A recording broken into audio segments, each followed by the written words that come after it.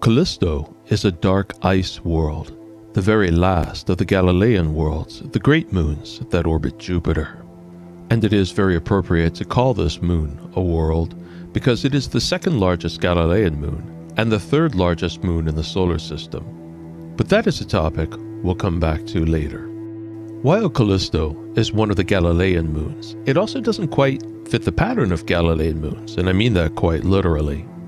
Io, Europa, and Ganymede, those are moons 1, 2, and 3 that orbit Jupiter, at least among the large moons, have a 1 2 4 resonance, which is to say that for every time Ganymede goes around Jupiter, Europa goes around twice, and Io orbits Jupiter four times. Callisto, on the other hand, does not follow this orbital resonance. While it is tidally locked like all the other Galilean moons, that is to say, one side of the moon always faces its host planet, Callisto is a long way out from Jupiter and from its neighboring moons, and they have not had time yet to pull Callisto into their orbital 124 resonance.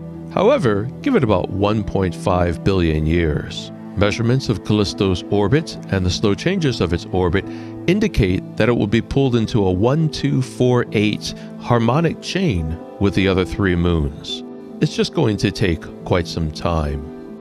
It might be right to say that Callisto is the most boring, interesting object in the solar system. It is boring because, well, look at it. Essentially, this moon is an ice ball. It even looks like an ice ball, a sphere of dark ice that has endured repeated impacts. In the case of Callisto, those impacts are wherever asteroids have hit over time. Where that's happened, the ice on the surface has been smashed, leaving a white powder against its darker surface. You could see a similar effect for yourself if you happen to live someplace up north where there's a lot of ice outside. Just go to a frozen pond or lake or even a big puddle. Pick up a handful of gravel and throw it down hard at that ice. Wherever those pebbles hit, the ice is going to fragment, leaving behind bright white marks against the darker ice below. And that, in a nutshell, describes the surface of Callisto, though granted that is a simplification made purely for illustrative purposes. Though it is fully accurate to say that Callisto is a frozen and inactive body. It formed far out from Jupiter by way of the slow accretion of a cloud of dust in such a way that its interior never really heated, and thus the moon never really experienced any internal heat nor volcanic activity, and it is too far out from Jupiter to have experienced much in the way of tidal forces, and therefore does not likely have much in the way of internal heat sources at all, and probably never has, which means Callisto has little to no geological activity going on on its surface. You can see that here, its surface is pockmarked, utterly and completely saturated by craters. The number of craters visible on a body is an indicator of how old it is. And given the complete saturation of Callisto's surface by craters, it tells us that this moon very likely has been unchanged since its formation near the dawn of the solar system. And in that sense, Callisto is very interesting. If we could ever put a probe there, or perhaps land there ourselves, it would give scientists an opportunity to study what would literally be a world museum from the beginning of the solar system.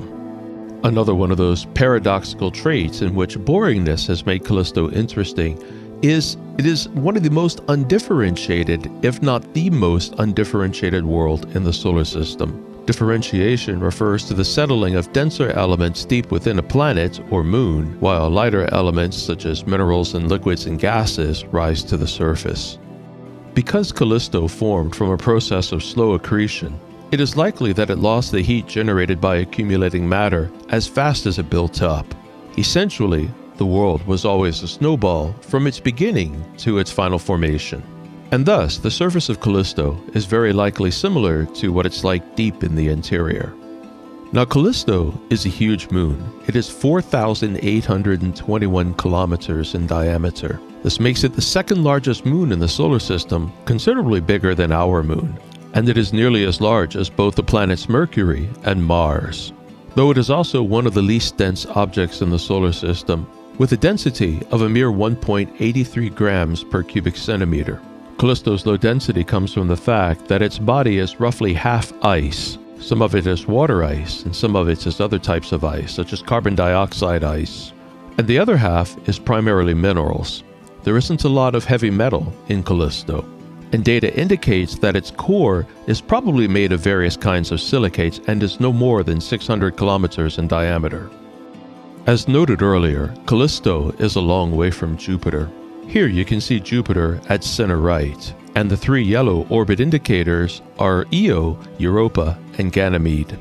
Ganymede, the third moon, is just over a million kilometers from Jupiter, whereas Callisto is over 1.8 million kilometers from Jupiter, almost twice as far from Jupiter as Ganymede.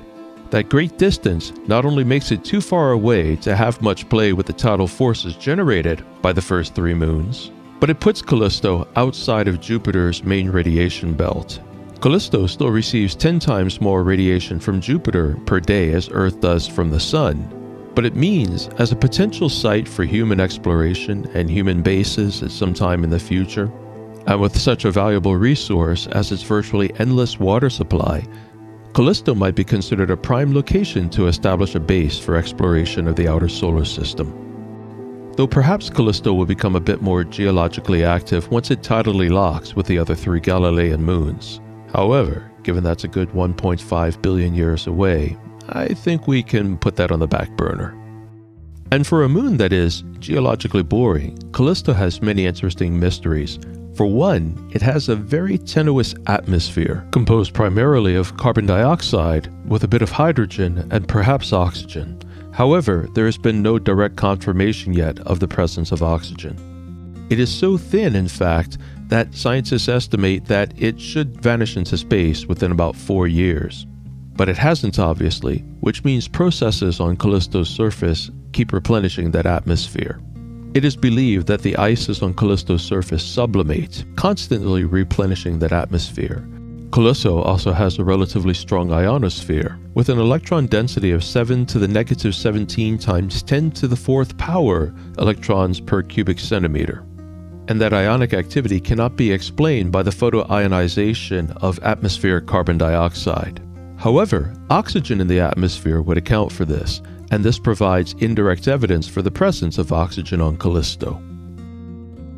Finally, data indicates there is very likely a world ocean of salt water deep under the surface of Callisto, between 250 and 300 kilometers down.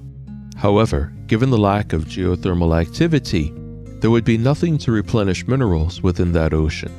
And thus, though Callisto likely has water far, far beneath the surface, it is considered a much less likely candidate for extraterrestrial life than moons like Europa, Ganymede, or Enceladus. Even if there were life there, it would be so far beneath the extremely thick frozen crust of Callisto, a world so cold that its ice is as hard as granite, that it is unlikely any probe could ever get down there to study it. And whereas those other moons often give off geysers that may contain valuable clues as to what lies within those oceans, Callisto, geologically stagnant, creates no geysers, and thus it is very likely that some of its mysteries will always remain mysterious. Thank you for venturing into the cosmos with me in this episode of Sky Story. Sky Story is part of the Understory Network, a collection of programs devoted to the study of the natural world. In Microstory, we study the invisible world of the very small. In Understory, we examine natural history and issues of conservation. And in Sky Story, we look beyond Earth and explore the cosmos. There will be many more episodes, so to keep abreast, please take a moment to subscribe and don't forget to hit that like button.